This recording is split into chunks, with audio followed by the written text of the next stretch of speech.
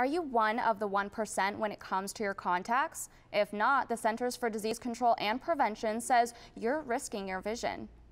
It was just last week when Audrey Perkle, an ASU student, rushed to the hospital. My eyes were very, very red, like completely bloodshot, but like my left eye, it was just like black. I could not see out of it. It all happened after wearing her lenses for about 14 hours the day before. But that doesn't surprise a local optometrist. Well, that's why I'm suggesting daily disposal because I know this is happening. According to the CDC, 41 million people in the US wear contact lenses. 99% of wearers do not wear or care for their lenses properly, putting themselves at risk for severe eye infections. Blink again, good, and look straight ahead.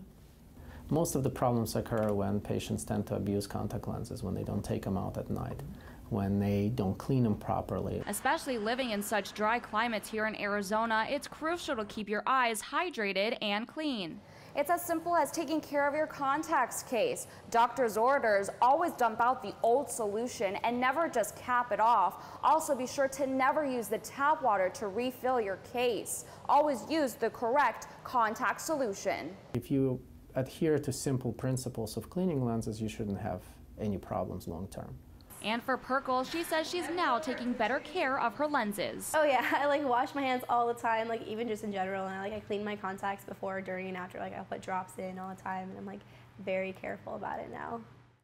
You should always remove your contacts and call a doctor right away if you experience any redness, pain, or discharge in the eye. To learn more, go to cdc.gov.